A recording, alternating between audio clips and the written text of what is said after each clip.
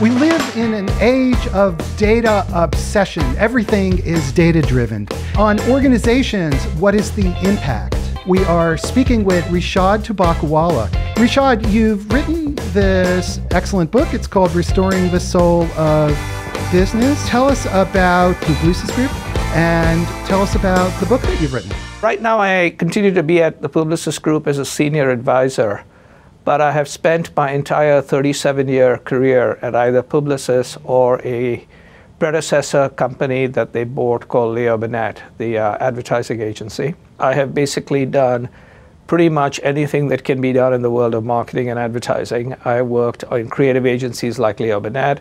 I have worked in media companies like Starcom and Zenith. I have been the chairman of big digital agencies like Digitas and Razorfish. I have worked in the corporate role as both the chief growth officer and prior to which I was the chief strategist of the Publicis Group.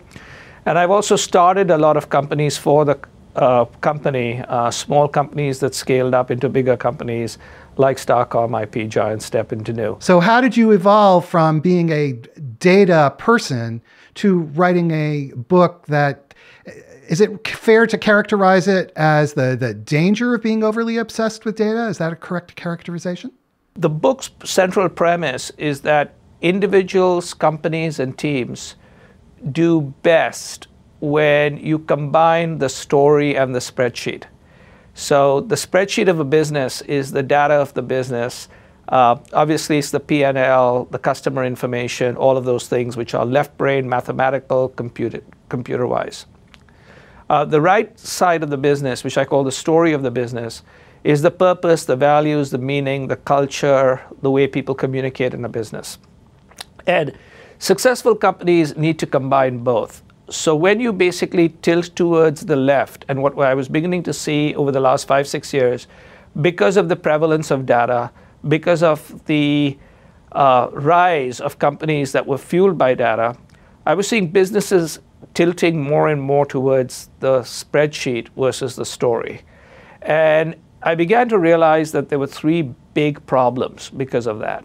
The first was more and more of the employees of companies were getting disengaged because when decisions were being done by math and machine, they felt left out. That was number one. Number two is that because of that, people were starting to make big mistakes. For instance, uh, Wells Fargo decided that opening accounts was what they needed to do. And so people began to open fake accounts. And at the same stage, now you understand that somewhat the same issues happened with Boeing when they had to get the 737 MAX, you know, out there. So when you begin to have companies where it's all about let's make the numbers work or let's make the math have a decision, you also began to have stock market issues. So the company's market valuation dropped. And the third, from a societal impact, especially when you have larger companies like, let's say today, a Facebook, uh, they focus so much on their own, I would say, results and of fixating on consumers, they forgot that they have societal impact, which is we have we are not just ingesters of things. We are you know we are citizens of countries. We are parts of community, and so there was this backlash against companies who were only focusing on the left brain, as there's been a backlash on Facebook, as there has been backlash on other companies. So my thought was let's restore the order and recognize that it's about story and spreadsheet. And spreadsheet only doesn't work. On the other hand, we are living in an age of technology and data, and story only also doesn't work. And a company that is all story and all making up stuff without a spreadsheet is WeWork.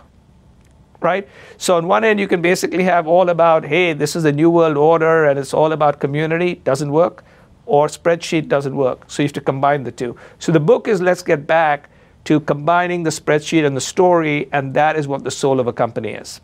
Spreadsheet, we can say, is data. Is there a word that you would use to sum up the, the story side? Humanity, human.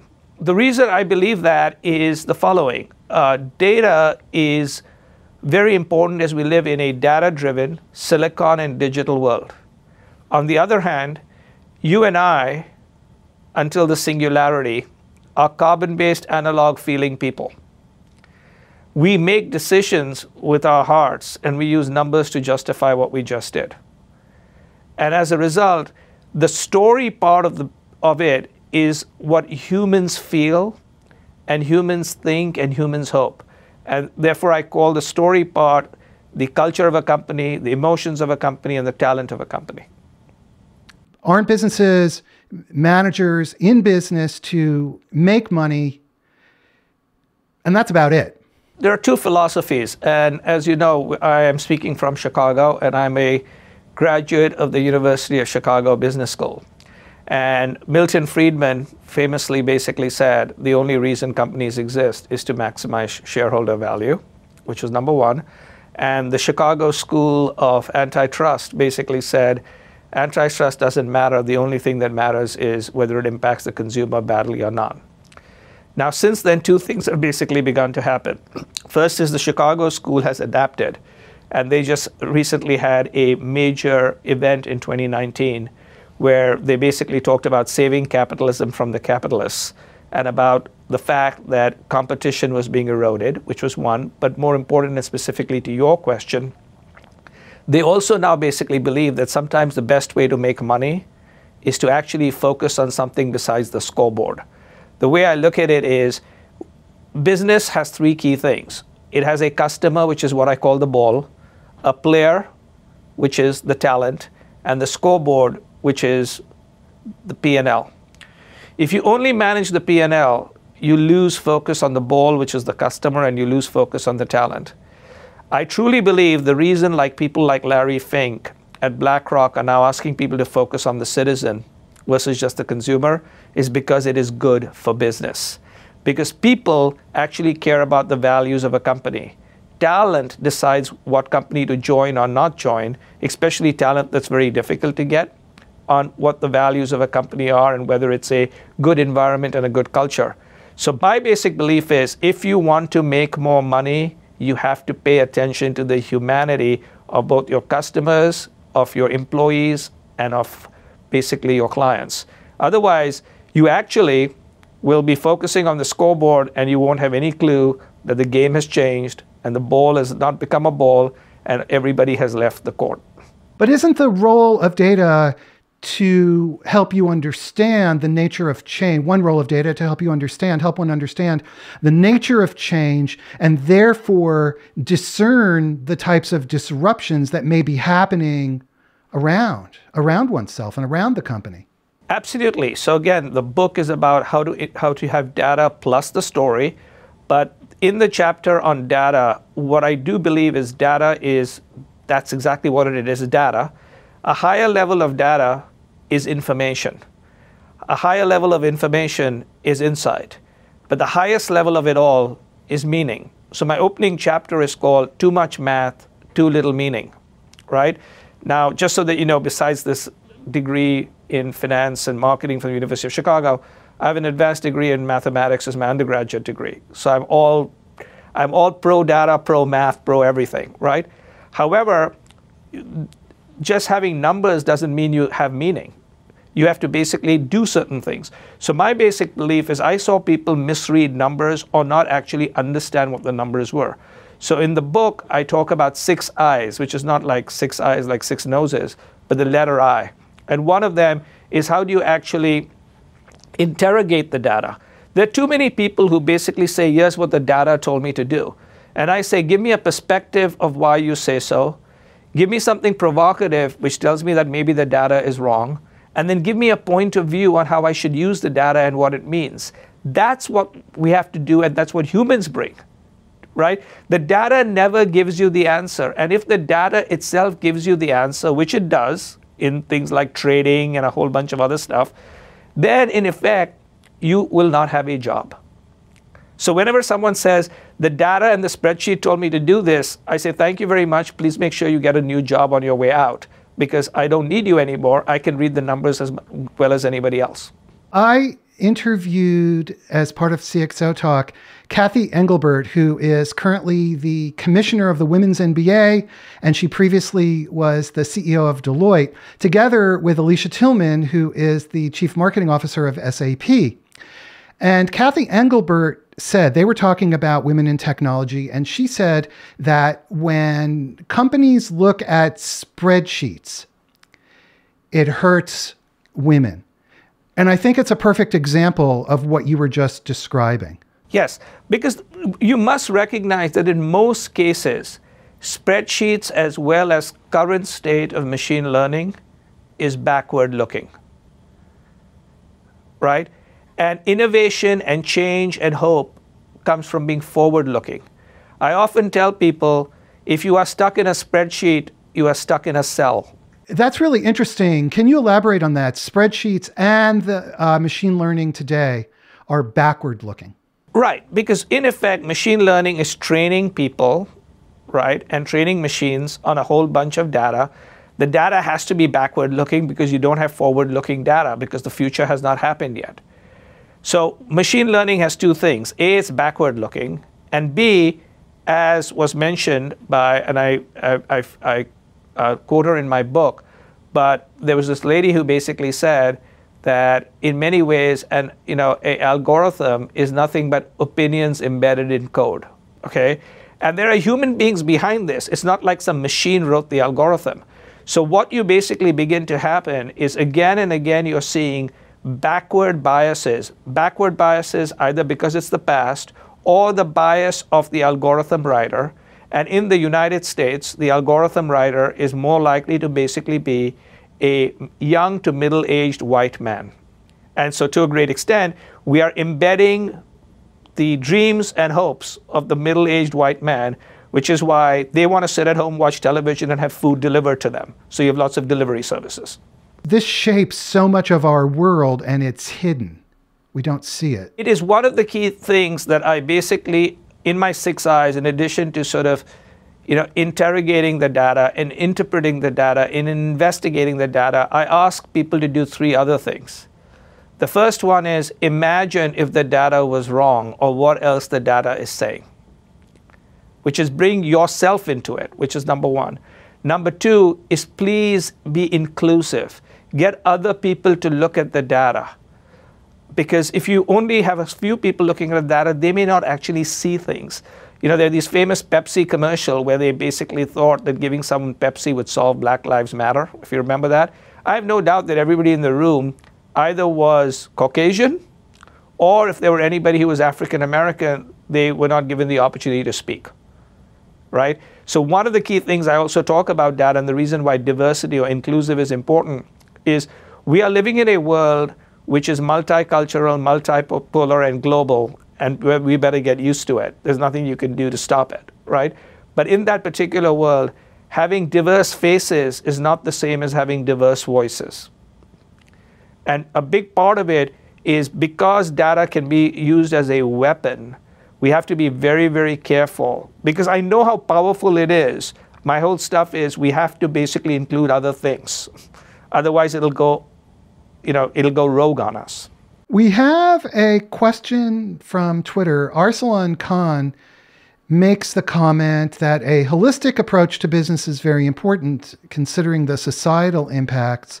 However, what about monopolies and duopolies, which have no interest in being holistic and yet at the same time have a tremendous impact on our lives? The areas where we are seeing sort of monopoly type of existence are really in the technology platforms, right? So the, the way I look at it is, if you look in the United States, uh, you basically have three monopolies, or, uh, and and of course they all define themselves differently. But the reality is, you've got three sort of monopolies.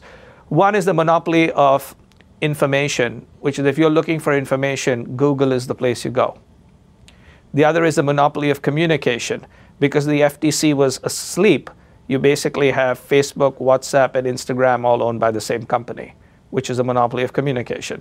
The third is you're increasingly having in the United States the monopoly of transaction, which is Amazon, right? They can talk about what percentage they have, but as a book person, 55% of my sales and 55% of all books are sold through one person. If I can't keep the algorithm on Amazon happy, it doesn't matter what I did. That's a problem. That's a problem. So what happens is That is one of the reasons why you're beginning to have a backlash happening today, where people are beginning to ask what has happened with these platforms. Now, interestingly, inside these places, like for instance, inside Google, people themselves are protesting, right? And what we have to basically understand is we should not allow any particular company to ever become so powerful because we are no longer looking backwards. We're looking at a future where these companies and what they do, these are not advertising operating systems. They run society operating systems. To what extent do you think organizations, uh, and is this necessary, uh, sacrifice profit and potentially even revenue in order to make balanced decisions that affect the broader welfare? In my book, I mentioned company after company that has basically made those decisions and have tended to be more successful than any other company. So, an example that I use, and I, you know, the CEO of this company actually has been one of the people who've endorsed my book, is Adobe. So, if you look at basically Adobe, they have a culture which pays, pays attention to both the people and the technology. Uh, they do amazing things, which I've sort of understood inside. But also think about the fact that Adobe made two or three decisions that were so significant and seemed so stupid, which turned out to be fine. So, right now, if I understand right, Adobe has basically overtaken both Oracle and SAP in market cap. And if you think about it, seven, eight years ago, when they made a decision to go all in on cloud, their revenues fell and their stock price fell dramatically. Uh, and I think it was like 20 bucks, 25 bucks, or something like that. Now it's like 275, right? So my whole basic belief is the math told you not to do that. Leadership and imagination of Shantanu Narayan and his team told them this is where the future was going. IBM failed to do that. They did it. Oracle didn't do it as much. And so my belief is if I look for leadership, I look for people who understand the trends. He obviously understood the data, he understood what was going on, and then inspires people to make changes and does amazing things. So similarly, when you think about it, Disney is going to lose money over the next two, three years. Definitely the direct business of Disney because of their decision to invest humongously on Disney Plus and on Hulu, on an ESPN Plus, to take back all the revenue that they were getting from licensing their stuff to Netflix. What happened? Their stock price started going up. So, my whole basic belief is if you actually think world class leaders don't understand that it's combining the two, then you wouldn't have amazing companies. Every company that fails is a company which has a leader that only uses the numbers.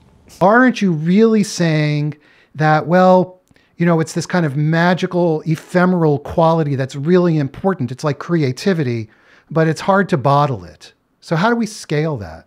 There are many ways to scale it, and you know, one way is to potentially to read my book because what I basically did was I identified the ways you can actually scale that, and I'll give you a few of them. The first is you've got to basically have companies where people can actually speak up and speak truth to power. So I call that chapter the turd on the table. Organizations that allow people to speak up are organizations that scale humanity, ideas, and innovation. How do you do that is called the turd on the table. The second is spreadsheets don't change, and the entire idea when people talk about I'm doing an M&A to change and transform my company, I say no. The only way you can transform a company is either you upgrade the people or you change the people, period, over and out. Everything else is a goddamn press release, right? And so what happens is you have to realize that change sucks, that people hate change. So if you want to scale change, you've got to begin and understand that change sucks and how do you manage change. So turd on the table is one. Change sucks is a second one. The third one, which we are failing to understand, which is my previous point, is all of society, and I, I, I you know, and I, I watch what I eat and I exercise, but we're fixated on food and exercise. But what separates us from monkeys is not our goddamn stomach, it's our minds. So why aren't we thinking about something more than our physical operating systems? Why aren't we upgrading our mental operating systems? In a world where we're in the 10th operating system for Mac OS and the 13th one for iOS, how come human beings are barely at number two? So another chapter is how do you actually upgrade your mental operating system, which includes training. So my belief is turn the table, change sucks, right? Upgrade your mental operating system are scalable ways the most successful companies have made change happen. Human beings scale and are more inspiring than any pile of data and numbers. And when you combine the two, they beat everybody. Just like take a great chess player with a machine, they'll beat any machine. Yes, the machine can beat the chess player today, but a chess player plus a machine will beat the machine. Upgrading the human operating system seems like a pretty large task, and there are entire, very large bodies of thought ranging from Hinduism to Buddhism, even Christianity. And I'm not meaning to take this in a religious direction, but my point is that making change is it not only sucks, but it's it's really hard. And so in a practical way, what what can business leaders do to help drive that kind of change at that level that you're describing? basically say upgrading the mental operating system because I'm not trying to upgrade all of humanity, which is a religious thing. So it's upgrading mental operating system. So in my upgrading mental operating system, I basically tell everybody, hey, look, these are the three th- key things you can do. Spend one hour learning every every day right? The world is changing so much. Most people are going to work for 50 years. Most companies last for 15. You'll outlast three companies. So the reality of it is if you're not investing in learning one hour a day, just like you're investing in exercising and fixating on food, you're going to be like outdated. Number one. Number two is try to do one new thing every day. The only time we get alive is when we fall out of the itinerary of day to day rituals. Go to a new restaurant, walk in a different place, see something and third, which is the most difficult and most important today because of technology's polarization, is build the case for the exact opposite of what you believe. I truly believe that if you cannot build the case of the exact opposite of what you believe, I don't think you even know why you believe what you believe. So those are three things that are just very simple. Anybody can do right away to upgrade their mental operating system. Similarly, when it basically comes to change sucks, first identify and recognize that change sucks and therefore recognize it'll take much longer because you are dealing with humans. There's fast change. Fast change basically happens with fashion. Slow change happens with humans, right? And so one is talk to humans, repeat, figure out how that gets done. But most importantly is this incentivize change behavior. Do not punish people when they change. What tends to happen is I see again and again companies basically talking about change and then incentivizing today's results, incentivizing people who run today's companies, incentivizing people who have power based on client relationships of today. If you want to do something different, don't put out a press release, change your incentive plans. In order to uh, incentivize change, it means that uh, leadership must have clarity about the nature of the change that they're trying to accomplish without mixed feelings about it. And this seems uh, relatively rare. It is because there are two things that they also need to do. So one is, is a very famous. There's a there's a uh, the previous CEO of Best Buy was basically asked what his thoughts were about change management, and his answer was yes, right? And to a great extent, management, if they don't upgrade their own minds, they should get out. So in many companies, management is the issue. It's not the people, right? They lay off the people, but they don't know what they're doing, which is number one.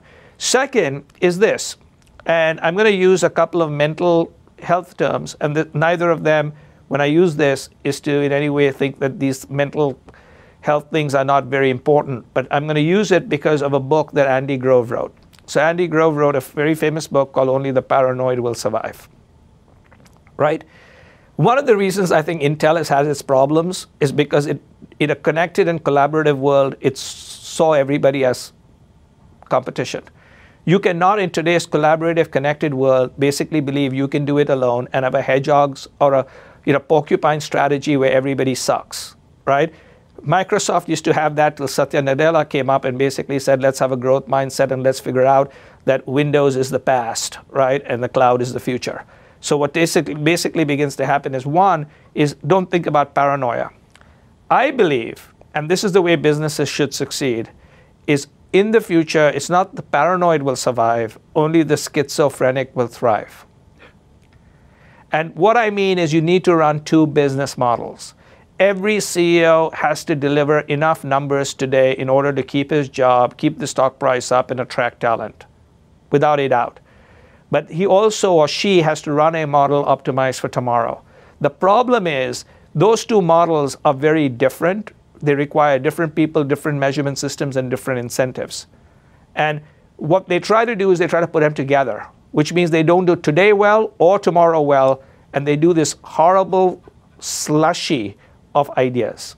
My background is with the enterprise software business, and during the transition from uh, on premise software to cloud, this has been a real uh, problem for many established software companies because they're running two business models. They have the on premise business model, and now they have to adopt the cloud business model.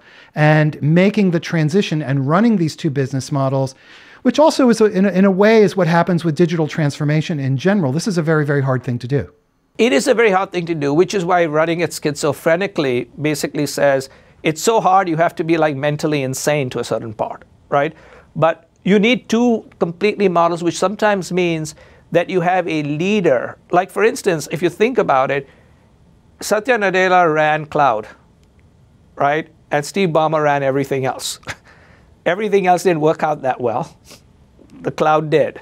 Uh, but what basically happened is you, you have to sort of recognize that sometimes you have the future leader of a company often is working in the slime. You know, one of my basic beliefs is the future comes from the slime and not the heavens. I have seen this again and again because I work with senior management and amazingly smart people. Eventually, they benchmark everything against each other. And my thing is being less pathetic than other pathetic people still makes you pathetic, right? S- similarly, you know, IBM did not see Microsoft. Microsoft did not see Google. Google did not see Facebook. You see this again and again and again, right? because people basically hang out together. They go to Davos, which I go to too. You know, they hang out there, and everybody basically, you know, blows kisses at each other, and they don't know what the hell's going on. So my stuff is if a senior management doesn't spend at least 20% of their time talking to people they don't know, go outside their industry, they will have a nightmare coming. So step outside their their comfort zone. Clearly, step out their comfort zone, and they have to think because every time this happens, it's like, you know Gillette taken on by Dollar Shave Club, right? Because Gillette and Schick basically thought the future was adding more and more blades, charging more and more money to such an extent that when you go to Walgreens to buy a blade, you, you feel like a goddamn shoplifter because you got to get somebody to open the thing for you, right? And, then, and, and so they whole, and someone basically came in and said, how many blades do you need? and here's Dollar Shave Club or Harry's, and wow, there we go. You have to write down your market cap. And by the way, the people at the P&Gs, etc., of the world are so smart, they saw this.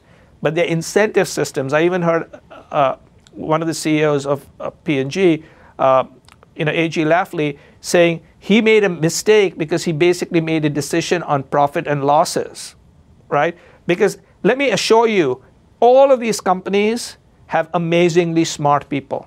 They have amazing smart everything. But they then basically say, we can't do it because the numbers tell us we can't do it. And my whole stuff is, then what are you a leader for? A business leader recently told me that when a company has too much resource, too many resources available, that that can cause a set of problems in and of itself. I'm thinking of the P&G example you were just describing. Yes, because here's what begins to happen is there are two types of scale, and this is the key thing that most businesses are struggling with, is what I call old scale and new scale. And successful businesses have to have old and new. You know, there's some people who say it's all new scale or only old scale. So let me explain that. I'm going to do it broadly in the world of sort of marketing because it's a world I understand, but I think this is true across the world. So for old scale, it's scale of manufacturing, so you can bring prices down scale of distribution, so you, you know you can get yourself into the Walmarts, etc. of the world. Scale of resources, so that you can basically hire people, and scale of spending. Because if you spend more money, you get better magazine placement, you get prime time, television commercials, etc. So those are old scale. I think those are still important, but less and less important, but not unimportant. New scale is scale of networks and data, scale of influence, and scale of talent. And the example I use is our older daughters. Now da- my daughters are, you know, in their late 20s and early 30s. But as they were growing up, they were watching Keeping Up with the Kardashians, and I thought I brought them up wrong. And their mother was watching it too. And I said, "What is this nonsense you're watching?" And they said, "These are successful business people. Please leave the room." So I said, "Okay." Then they sent me once a cover of the of Forbes where Kylie Jenner was the fastest or youngest billionaire, right? And I just looked into the, her company and began to realize that she had built a billion dollar company. She sold 40% to Coty. And she had built it with the following scale her scale of resources was 55 people. Her scale of uh, manufacturing was everything was actually basically done by a company called Pure Beauty. Her scale of distribution was something called Shopify. And her scale of spending was 120 million Instagram accounts that she spoke to. New scale. And so my basic belief is new scale is the slime. I'm not calling those people slime, it's the future of slime. But if you only think about new scale, you get yourself into a problem, like Casper, right? Because all these direct to consumer companies, eventually what do they do? They run out of money because all their money, they're competing with each other, and only Google and Amazon and Facebook makes money. Nobody else makes money.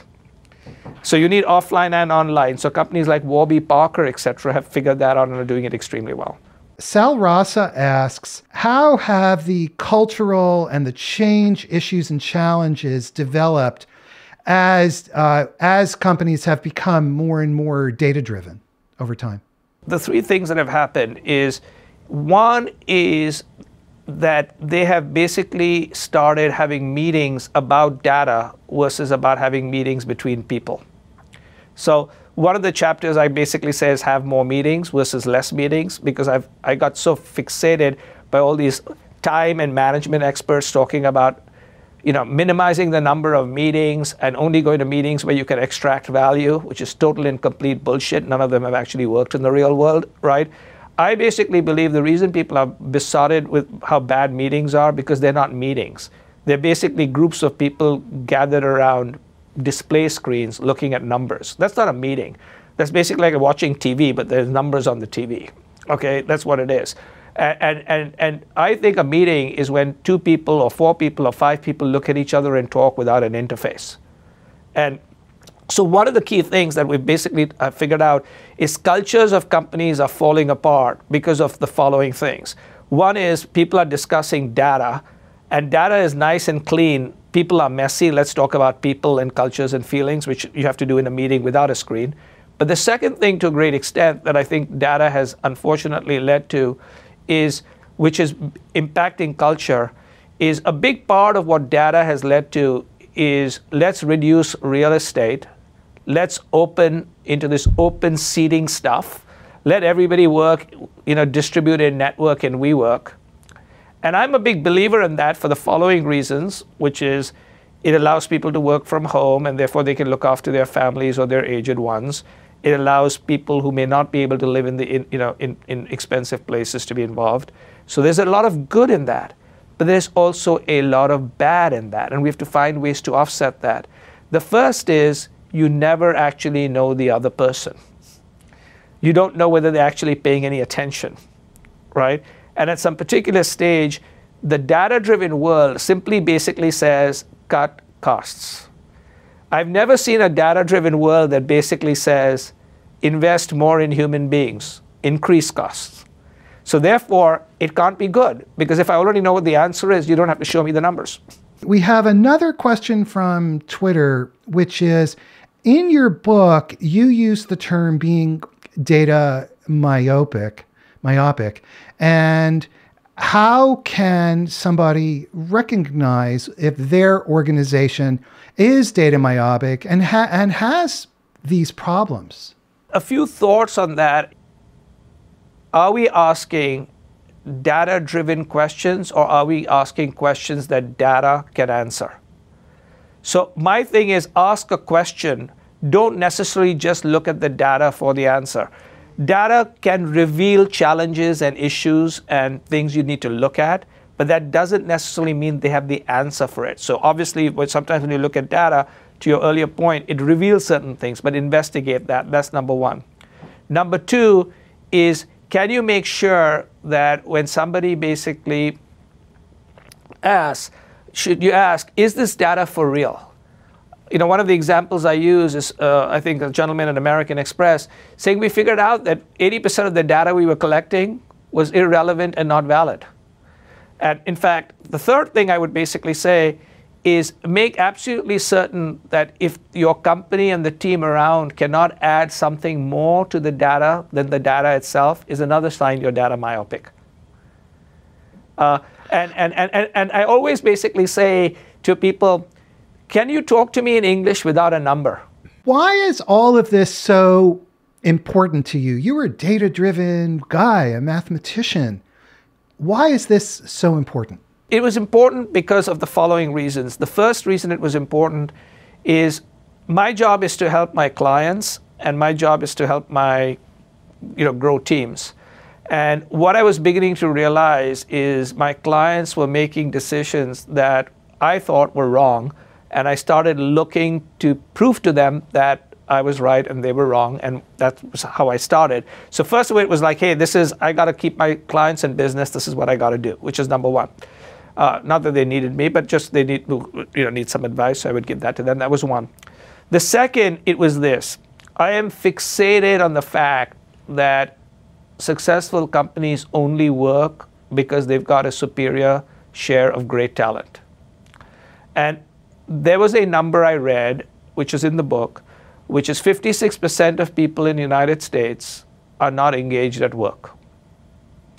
And so my thing is, what do we, if we can improve that 56%, isn't that better than almost anything else we can do in cost savings and other kinds of stuff? And what I realized is the reason the 56% was not engaged at work is because either they, that, that all agency had been taken away from them because they were just reading data. They were treated like cogs in a machine, right? They were treated as basically manufacturing units, you know, as, as people, not with people with dreams. And th- what they were looking for from work, in addition to fame, money, and power, which many of us look for, right?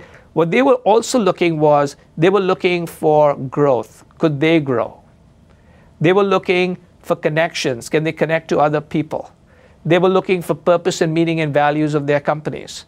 And what I was beginning to realize is smart companies were beginning to have a big problem attracting talent, sometimes just by paying them with money. And I said, look, my basic belief is unless you have superior talent, you can't win, which is number one.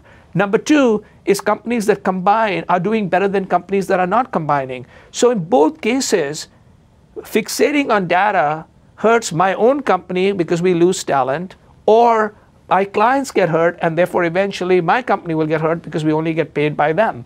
And so my whole thing was let's do that. Now I had two advantages, and which is why I'm now speaking. One is because I was a pioneer in digital, and because of my undergraduate degree in mathematics and my MBA, and because I'm Indian, so people think Indians know how to do numbers, right? The general stuff is if this guy is talking, it's not because he doesn't understand numbers, doesn't understand data, and is like scared of it. And remember, my stuff is both. I keep saying both, not one, not the other. The second is over time I became senior enough and got enough of a reputation, and now I'm in a particular place, especially now that I'm an advisor. I can say what I think, and nobody can basically fire my company. They can fire me, but I'm a company of one, which is fine. I'm already fired, right? So you don't have to worry. I'm not fired, but but you understand. But what tends to basically happen is that there was a voice, and I was beginning to realize that this is not necessarily my voice. It's the voice of my clients. It's the voice of the people I've worked with. Because when I sit with them, they said, This is what we really feel. But we're not in a position to say. So I'm now saying. We have a very interesting question from Twitter. And this is from Passionately Curious. And I'm just going to read this. It's fairly long, okay? She says AI, AI bias is rarely nefarious. It's flawed logic and overconfidence in math. Therefore, you should build into your processes algorithm bias audits that include diverse perspectives, cultural anthropology, and cognitive science. So it's both logic and psychological. I completely agree. That's the reason. That's the spreadsheet and the story. Uh, so the, the, the, entire thing about too much math, too little meaning, I basically talk about bringing in diverse perspectives. And the entire, I have a chapter on algorithms, which I basically call robots compute, people dream. And unless you have the computation people and the dreamers together, our algorithms will basically be written for Silicon Valley who are disconnected from the reality of the world. Advice for individual contributors who are listening and saying, What do I do? How can I drive this kind of change? Because this makes sense. I would say do a couple of things. One is recognize that every single person is talented and you are a talented leader even if you are a company of one or you're an individual contributor. And ask yourself just the following five. Ask yourself how you build these five characteristics very quickly. One is you got to have capability. So you have to be good at something and not good at a whole bunch of things that are, you know, just one is big capability. The second is do you have integrity? Will people trust you? Because I believe trust is speed. What people are looking for is, and the, the, the, the currency of the future is people who have trust. And the third, fourth, and fifth are about openness to other, which is are you empath- empathetic? Can you inspire people? And are you vulnerable? And if you have those five characteristics, you will be very, very successful. And if you want to know more about how to do that, that happens to be a chapter in my book too. My final question is What advice do you have for business leaders who are watching this and they're saying, yes, this sounds great. What do I do? I think most business leaders and almost every business leader I have seen, I have learned from because they're so smart. However, they have outsmarted themselves. They are anticipating something else. They're living in other people's minds. And I say, why don't you live in your mind? Why don't you live in your heart? Because instinctively, I think most business leaders know what the right thing to do is but they're imagining that someone else is telling them to do something else. So don't follow the siren song of somebody and clash your company against the rock. Believe in yourself. I find that strange in a way because when we think of business leaders, we think of self directed, powerful, clear. And you're saying uh, internally driven, and you're saying that that's often not the case. It's not often the case because I often have the great opportunity of having drinks with these gentlemen and ladies and after a couple of drinks, I asked them a simple question What's bothering you? And the number one question is the number one answer is Am I relevant for today? Number two is my company's business model relevant for today? And number three, which sometimes is number one because I'm there, is is your agency relevant for today? right? But outside of the fact that they think I might be irrelevant and my company might be irrelevant, which is my problem to fix. The other two is their business model. But what I find surprising always is they always say whether they are relevant because they're doubting themselves because the world has changed so much. Those are essentially the existential questions. Are we going to be around for a long time? Yes. And my whole basic belief is we are not. So why don't you make time valuable? So, in fact, as you know, the opening of my book called Why This Book simply says time is the only thing you have. So why should you spend any time with your book? And we forget this. I keep reminding people whatever your age is, minus it from 80, 80, because around that you'll basically break down completely, right? Multiply it by 300 because for 60 days you may be like, you know, marijuana fog. And those are the number of days you got left. Then when people basically ask you to do things that take up your time, recognize you're giving up your life my whole thing, as I keep reminding senior people, is the whole point of having money is not to make decisions on money. Why did you have so much money to still make decisions on money? You failed. I can tell you, I have enjoyed spending my time with both the book and with you, Rishad. And thank you very much for taking your time to be with us today. And thank you for having me and for your audience to listen or watch. Thank you. We've been speaking with Rishad Tobaccowala. He is the former Chief Growth Officer of Publicis Group, and he's the author of this very interesting book. I'm trying to aim it so you don't see a shine Restoring the Soul of Business, Staying Human in the Age of Data. He's got a great message. Thank you to Rishad for the insightful conversation today. Everybody, before you go, please subscribe on YouTube and subscribe to our newsletter. We have amazing shows coming up. Check out cxotalk.com and we will see you soon. Have a great day. Bye bye.